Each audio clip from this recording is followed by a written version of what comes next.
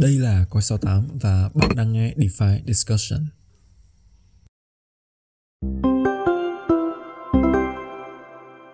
Ok, xin chào các bạn và chào mừng quay trở lại với DeFi Discussion và mình là Hồng Phong đến từ Coi 68. Uh, ờ, để mở đầu cho cái ờ, cái câu chuyện mà của tuần này thì bây giờ đang là tháng cuối năm rồi và cuối năm thì mọi người biết là chúng ta thường sẽ có một cái hoạt động gì không?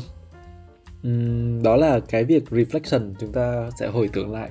Nhưng mà trước khi uh, biết đến là hồi tưởng vào cái gì thì chắc là sẽ để uh, người uh, khách mời ngày hôm nay chào mọi người một tiếng ha. Hello nguyên. Ok hello xin chào anh em. Uh, rất vui được uh, gặp lại anh em trong một tuần mới và đây là một tập mới của podcast DeFi Discussion. Thì uh, chắc cũng như phong có đề cập hồi nãy thì uh, DeFi Discussion hôm nay sẽ là một cái mình tạm gọi là một cái ờ, uh, think week tức là một cái tuần để mình ngồi mình ờ, suy nghiệm lại những cái thứ mà nó đã xảy ra trong cái chu kỳ vừa rồi của thị trường và uh, hy vọng là nó sẽ mang lại những cái những cái gạch đầu dòng nó hữu ích và thú vị cho mỗi anh em đang nghe cái podcast này. Yeah.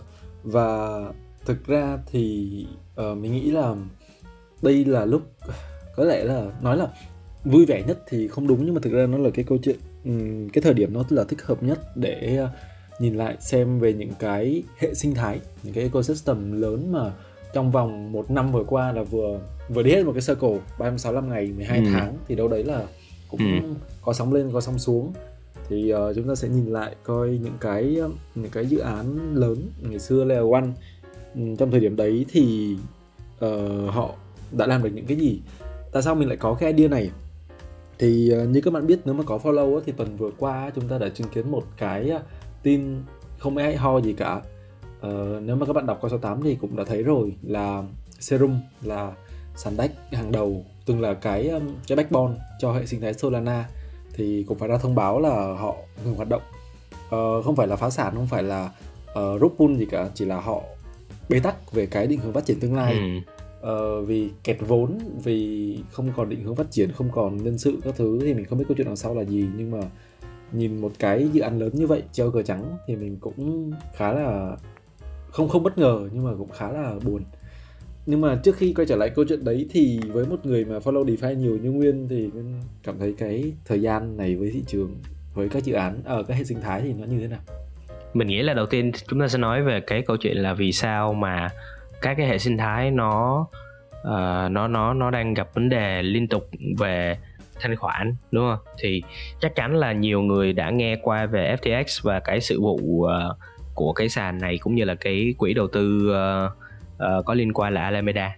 Thì uh, uh, cái cái vụ việc của FTX nó không những là liên quan đến câu chuyện là nó khiến uh, một lượng tiền lớn rút ra khỏi thị trường mà nó còn khiến cái niềm tin của mọi người về cái thị trường nó bị hao mòn. Và khi mà cái dòng tiền nó rút ra rồi á thì về vấn đề thanh khoản nó sẽ sẽ càng ngày nó càng bị bị bóp lại. Và khi nó bị bóp lại á, thì cái rủi ro nó đến càng nhiều uh, nó sẽ kéo theo nhiều cái hệ lụy. Thì về cơ bản cái sự việc của serum nó cũng vậy thôi. Thì serum nó là một trong những cái có vai trò như là một cái bệ thanh khoản cho Solana cho hệ sinh thái Solana. Và khi mà một lượng tiền lớn nó rút ra như vậy thì thực sự ra nếu như mà vào cái thế của họ thì nó cũng là một cái thế rất là khó thôi. Tại vì uh, khi mà tài nguyên nó dồi dào thì uh, họ sẽ có nhiều cách để họ phát triển đúng không? Nhưng mà bây giờ cái thế nó đã như vậy rồi thì cũng um, cũng cũng cũng khó mà nói. Thì uh, uh, yeah thì uh, cái vấn đề mà thanh khoản nó rút ra như vậy á một phần là vì các cái dự án trong DeFi họ không nghĩ ra được cách để tạo ra một cái yield nó hợp lý. Uh, chúng ta nói rất nhiều về cái trend uh, real yield đúng không? Nhưng mà không phải là cái hệ sinh thái nào nó cũng có thể làm được điều đó. Và khi mà không có một cái hoạt động nó sôi nổi ví dụ như là người dùng họ có thể lên một cái sàn DX họ swap cái lượng phi thu về nó sẽ là một cái yield. Và cái yield này nó sẽ thu hút người dùng là tiếp tục ok đầu tư vào cái sản phẩm đó thì nó sẽ là một cái vòng lập nó là một cái flywheel cực kỳ uh, hữu hiệu. Nhưng mà bây giờ đâu phải cái hệ sinh thái nào nó cũng có user. Và khi mà không có game không có một cái trend nào nó quá là cụ thể thì người dùng sẽ không có động lực để họ uh, thực hiện những cái giao dịch và điều đó nó khiến cái yield trả về cho người dùng nó không cao và nó không đủ hấp dẫn thì họ lại không tiếp tục bỏ tiền vào và nó cứ xoắn theo một cái vòng như vậy. Đó là không có thanh khoản thì lại không có phí giao dịch thì không có phí giao dịch thì không có không không có yield và không có yield thì không có người dùng và nó cứ liên tục như vậy thì, thì nó là cái death spiral đúng không? Đúng rồi. Và nó là một cái bài toán mà thực sự là bây giờ cái lời giải duy nhất chỉ có thể là tiền từ uh, một cái thị trường nào đó bên ngoài đổ vào thôi. Và chắc là nó là như vậy thôi chứ bây giờ nếu mà đứng ở trong cái thị trường này mà làm một cái thứ gì đó để người ta nói chung là đã đã không có công cụ rồi thì rất là khó để có thể giải quyết được cái bài toán hóc búa này. Yeah, và Nguyên có nhớ là hồi ờ, đâu đấy cuối năm 2021 ấy, thì mình có một cái narrative với ờ, trong thị trường này là uh, crypto nó đi lệch pha với uh, macro là chứng khoán Mỹ rồi uh, tiền các thứ là nó sẽ đi lệch pha với crypto. Nhưng mà um, đợt gần đây thì nếu như mọi người để ý thì câu chuyện là nó không còn tách biệt nhau nhiều quá nữa là chứng khoán hay là stock của Mỹ thì nó đi cùng pha với crypto luôn. Thì cái câu chuyện mà um, cái theory mà mọi người đặt ra là nó lệch pha thì sẽ như nào là khi mà dòng tiền rút khỏi uh, chứng khoán Mỹ thì nó sẽ lại đổ vào crypto và crypto sẽ có một cái ờ, một cái cash flow nào đấy. Nhưng mà bây giờ thì nếu mà đi cùng pha rồi thì nó nó no no work nữa. Cho nên là cái việc mà cạn thanh khoản thì cũng là điều dễ hiểu thôi. Thực sự ra thì đó là một cái giai đoạn mà các cái doanh nghiệp truyền thống họ gặp khó khăn trong cái lúc mà covid thì cái dòng tiền nó sẽ phải kiếm những những cái giải pháp hoặc là những cái ý tưởng kinh doanh mà nó không phụ thuộc quá nhiều vào cái physical tức là những cái um, tức là nó nó offline á tức là uh, người ta phải tương tác trực tiếp với nhau thì mới có thể thực hiện những cái giao dịch và hoạt động kinh doanh. Thì crypto ở cái thời điểm đó thì nó nó nổi lên như là một cái nơi để cái dòng tiền nó tìm nơi trú ẩn. Uh, nó giống như một cái công ty những cái chứng khoán về công nghệ chẳng hạn. Đó thì nói xa xôi vậy thôi nhưng mà ờ, thì đúng là như phong nói bây giờ thì mọi thứ nó đều đồng pha với nhau hết. Và uh, thực sự là khi mà khi mà các cái dòng tiền bây giờ nó rút đi hết rồi và nhiều dự án họ cũng bế tắc trong mặt ý tưởng nữa thì các cái leo quanh gặp khó khăn là chuyện bình thường. Đó thì uh, cái này nó cũng là một cái giai đoạn rất là khó khăn của thị trường thôi. Chúng ta cũng cố gắng gọi là duy trì và vượt qua. Tại vì có rất nhiều thứ có rất nhiều uh, những cái hạ tầng và nền tảng nó vẫn đang được xây lắp hàng ngày đúng không? Chúng ta không phải nói là uh, giá giảm thì uh, blockchain hay là crypto nó đang kiểu uh, rất là tệ. Chúng ta thấy rất nhiều những cái cải tiến và những cái công nghệ. Uh, bản thân như cái Solana nha thì uh, cái hệ sinh thái Solana sau cái sự cố của FTX á, mọi người mất niềm tin đúng rồi. Nhưng mà có mình mình đọc một vài cái bài blog nha. À, cái này không phải là góc nhìn của mình đâu. Cái này là mình mình mình thấy một bài bài blog người ta chia sẻ cái quan điểm đó thôi. Tức là cái việc rời đi của Sam và Alameda nó là một cái uh, đâu đó nó vẫn sẽ là một cái positive cho cái hệ sinh thái Solana này. Tại vì nó gần như là nó loại bỏ ra một cái phần mà gọi như là nó bị ờ, đòn bẩy và nó được thổi thổi bơm bơm thổi lên á thì uh, cái việc rời đi của Sam và của Alameda thì uh, nó cũng là một cái một cái sự thanh lọc nó uh, mình nghĩ là đâu đó nó vẫn sẽ là healthy. Ngoài ra nha thì nếu như mà mọi người để ý về cái sản phẩm của Solana nó không phải là nó quá hoàn hảo nhưng mà nó vẫn có những cái cải tiến. Ví dụ như là cái uh, QUIC tức là nó là một cái cách để hạn chế bot spam ở bên Solana nè.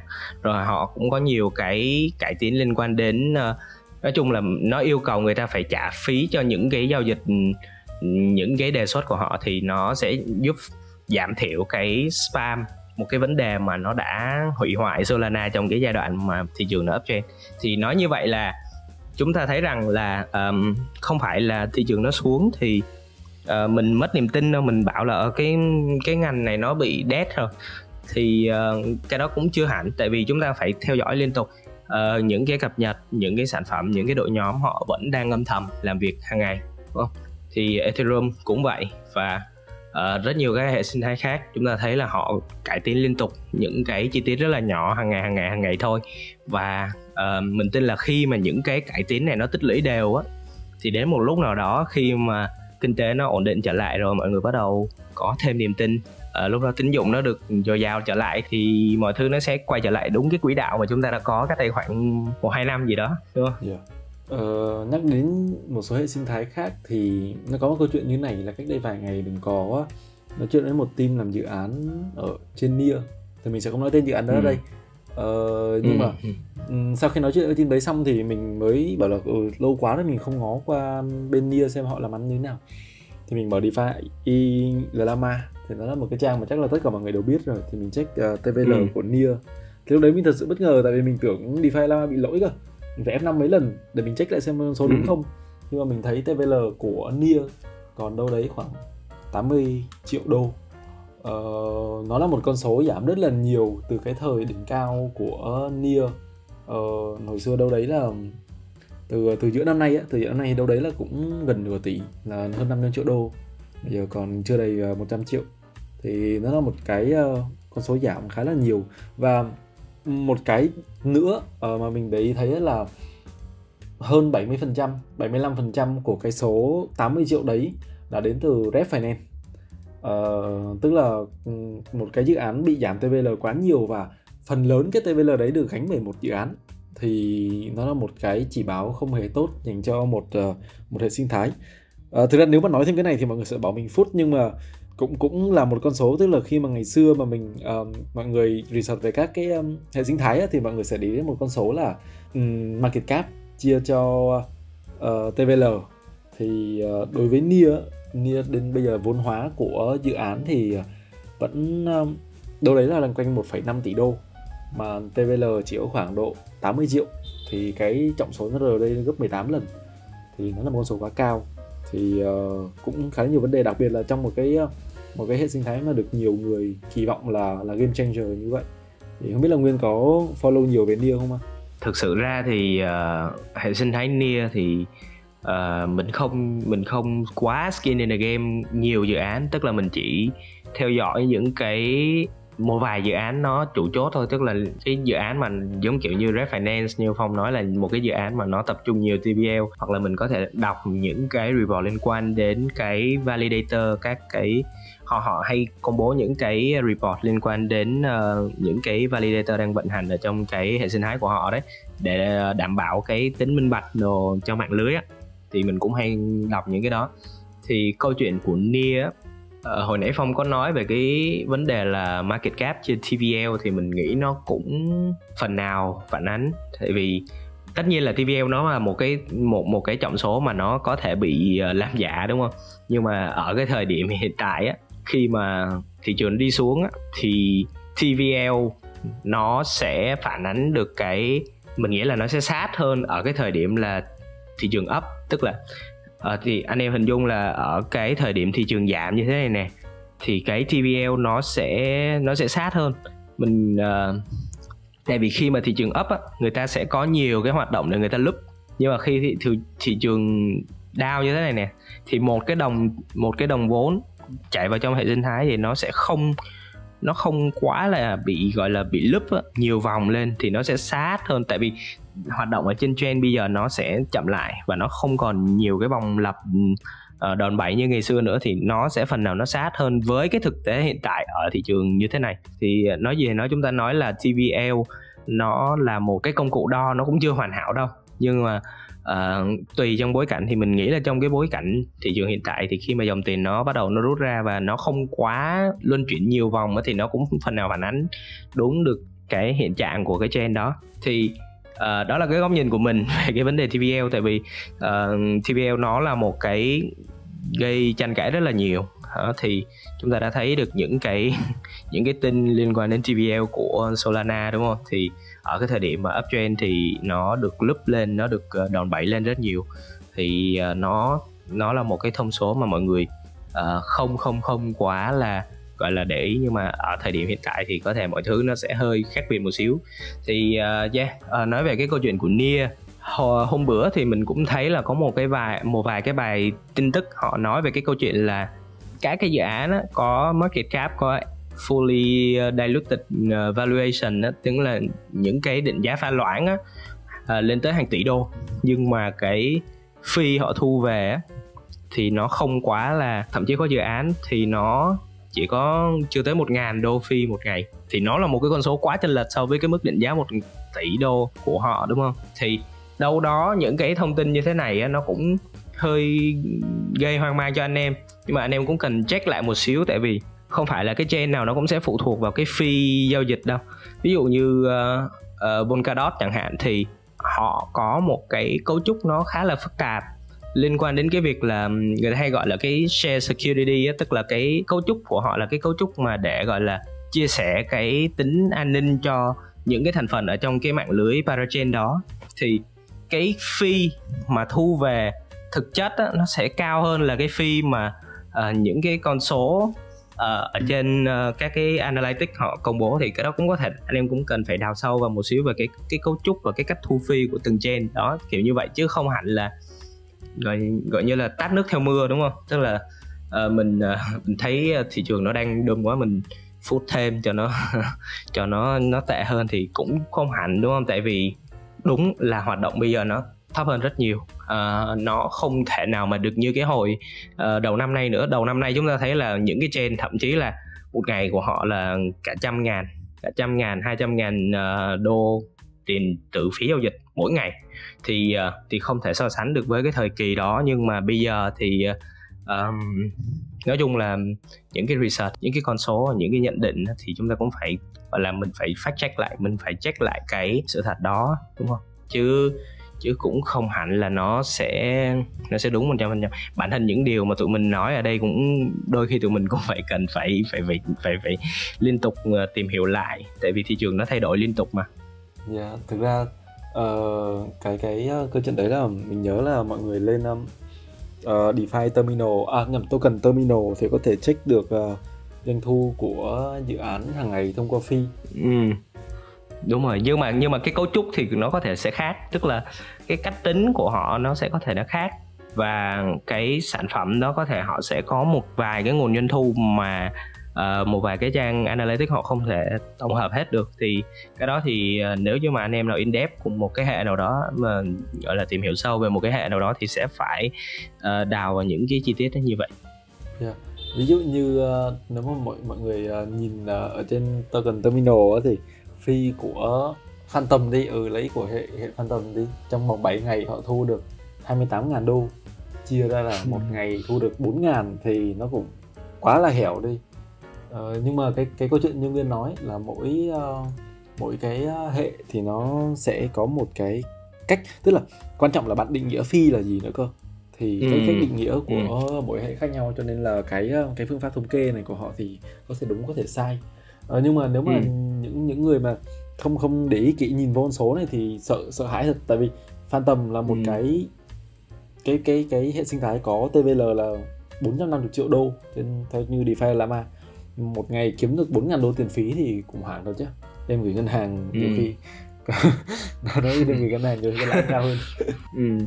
thì Phantom nếu mà nói như nếu như mà nói theo cách khía cạnh phi á, thì Phantom mình nghĩ là cái cách tính phi nó cũng khá là giống các cái chain monolithic nó sẽ thu mình mình nghĩ là nó sẽ hợp lý đó mình sẽ nghĩ là cái con số đó là đúng á phản ánh đúng còn những cái chain như mà Polkadot hay là Cosmos chẳng hạn hoặc là những cái chain mà nó theo cái xu hướng là gọi là cái cấu trúc vòng ấy tức là internet và blockchain nó nhiều các cái chain nó kết nối với nhau ấy, thì thì cái cách tính phi nó sẽ rất là phức tạp nó khác hơn rất nhiều. Nó không phải là cái cách tính mà như các cái chain uh, truyền thống những cái chain mà nói nói nôm na là những cái chain trong cái gốc EVM thì cái cách tính nó sẽ nó sẽ đơn giản thôi. Còn những cái những cái blockchain mà nó cấu trúc vòng nó, nó phức tạp hơn đó thì thì cái đó là chúng ta phải phải phải tìm hiểu lại. Tại vì nó nó là bản thân cái cách tính của mỗi dự án. Ờ, và thật ra là bảo là ngay từ đầu mình bảo là mình sẽ nhìn lại các các uh, dự án lèo ăn nhưng mà mới nhìn được hai dự án thì và thấy nhiều quá rồi thực ra là cái câu chuyện này nó sẽ là câu chuyện rất là dài. Um, ví dụ như là cách đây 12 tháng mà bảo là Terra Luna sập thì chắc cũng không ai tin rồi uh, ờ, lúc đấy nó còn nó còn chưa ra hình như là cái lúc đấy cái anchor nó còn chưa nổi cơ. Và cái câu chuyện là như vậy. Uh, nên là cũng cũng chưa biết được là những cái dự án tiếp theo của năm nay thì họ sẽ mang được cái gì uh, có cái gì giấu trong tay áo để mà chơi nhưng mà thật sự uh, mình rất là mong là có những gương mặt mới ví dụ như là uh, các bạn có thể thấy uh, những cái trend mới nổi gần đây ấy, như Aptos hoặc là Sui ấy, thì những cái những cái dự án à, những cái nền tảng đấy chưa có thông số gì để mà check cả cho nên là cũng chưa phân tích được uh, nhưng mà từ góc nhìn của Nguyên thì Nguyên có thấy có những cái tên nào đáng nổi bật đáng để quan tâm trong thời gian tới không? thực sự ra thì uh, trong năm tới thì mình nghĩ là các cái chain mà người ta gọi là Ethereum killer trong quá khứ á, thì nó sẽ không nó sẽ không có đất diễn đâu. Tại vì nó đang chơi một cái game là không phải win win win với Ethereum. Tại vì cái đồng basic cái cái đồng mà nền tảng cái đồng coin nền tảng của hệ sinh thái của họ là một cái đồng hoàn toàn khác. Và nó sẽ phải chứng minh cái câu chuyện là cái đồng tiền đó được đẻ ra bằng cách nào và nó sẽ được dùng cho cái việc gì và nó sẽ phải chứng minh lại với người dùng cái câu chuyện đó. Chúng ta thấy là trong năm vừa qua tất cả những những cái thảm họa đúng không? Của năm vừa qua thì nó bắt nguồn từ cái việc là người ta đẻ ra một cái token.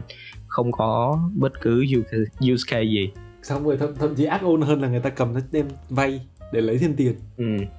Đó thì những cái thảm họa đó nó phần nào khiến những người dùng người ta cảm thấy e ngại với những cái hệ nó mới. Tức là cái rồi cái này đoạn này disclaimer luôn là cái này góc nhìn của mình thôi nha.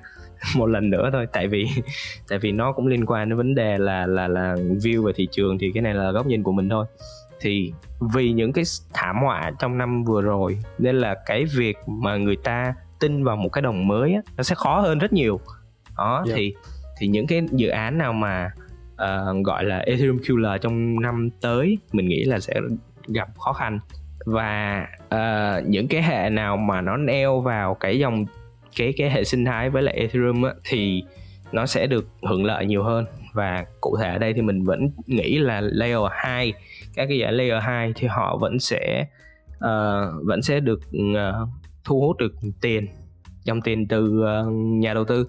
Tức là tại vì tại vì khi mà người ta cầm Ethereum á về bản chất cầm Ethereum ở thời điểm hiện tại nó vẫn an toàn hơn bởi vì market cap nó to hơn và Ethereum nó cũng đã có cái thời gian nó khẳng định được cái use case của nó rồi, đúng không? Thì khi mà người ta cầm Ethereum, người ta tương tác ở trong những cái hệ sinh thái layer 2 mà nó nó nó ưu tiên cho Ethereum, tức là bạn cầm Ethereum ở trong cái hệ sinh thái đó, nó sẽ được nhiều cái use case hơn, nó được nhiều cái yield hơn, thì người ta sẽ dễ dễ dàng là bỏ tiền vào những cái hệ sinh thái này hơn thì thay vì là người ta phải convert cái đống Ethereum của người ta sang một cái đồng mới và cái đồng mới này người ta không biết được là cái use case thực sự nó là cái gì và người ta người ta không biết là nó sẽ được dùng làm gì. Thì với cái lập luận đó thì mình vẫn tin là trong năm tới uh, dòng tiền nó vẫn sẽ vẫn vẫn sẽ bám trụ ở quanh cái hệ sinh thái đó. Tại vì hiện tại uh, niềm tin của thị trường thì nó dần chạm đáy luôn rồi. Chúng ta thấy là ví dụ như là cái đồng đai đúng không? Thì tuần vừa rồi họ mới uh, vote thông qua một cái đề xuất là nâng cái lãi suất của đai lên mức một phần trăm. Tức là nó thấp kinh khủng. Nó thấp so so với cái thị trường truyền thống là nó thấp kinh khủng. Tức là uh, anh em hình dung cái lãi suất nó là gì? Lãi suất nó là cái hiểu nôm na nó là một cái công cụ để đo cái niềm tin. Nó là đo cái niềm tin của thị trường.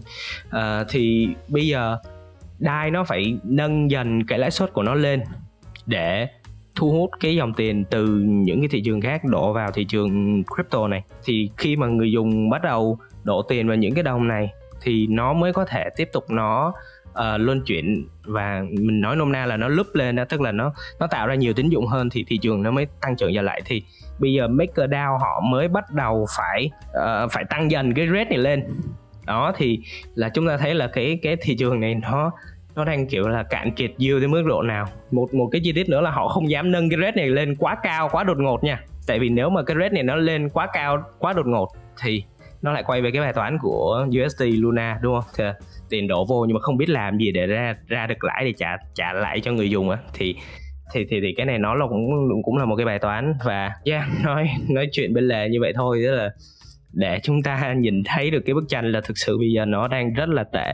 Và um, thanh khoản nó đang uh, đang rút cạn ra nhưng vẫn có những cái uh, từ góc nhìn của bọn mình vẫn có những cái cập nhật uh, liên quan đến kỹ thuật cũng như là những cái sản phẩm nó được bồi đắp hàng ngày và uh, nó vẫn sẽ là những cái viên gạch trụ cuối cùng để chúng ta có thể tin tưởng vào cái sự tồn tại của crypto trong thời gian tới à, còn yeah. còn bao lâu thì bọn mình không không không biết được tại vì không biết bao giờ nó uptrend trở lại cả.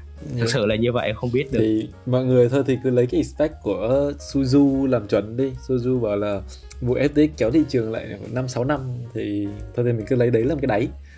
À, chắc là sẽ không lâu hơn được đâu nhưng mà quan trọng là năm sáu năm đấy làm gì thì chắc là bọn mình sẽ cứ update từ từ với mọi người. Và hy vọng thì mọi ừ. người vẫn sẽ ở đây. Yeah ừ. Ok uh, mình mình nghĩ là tuần này thì uh, như vậy thì cũng đã đủ rồi. Trong tháng 12 này thì chắc là sẽ có nhiều đợt reflect. Thì nếu như mà ừ. mọi người muốn quan tâm đến một cái cái cái mảng nào của thị trường thì có thể comment ở trong uh, phần bình luận của video này hoặc là trong uh, nói chuyện trong group FOMO Sabian. Thì uh, nếu mà ừ. topic hay thì uh, và um, có bọn mình đủ uh, đủ thông tin để làm thì bọn mình sẽ uh, update với mọi người. Xin hẹn gặp lại các bạn trong những số tiếp theo của DeFi Discussion ok uh, hẹn gặp lại anh em trong uh, tuần tiếp theo của DeFi Discussion.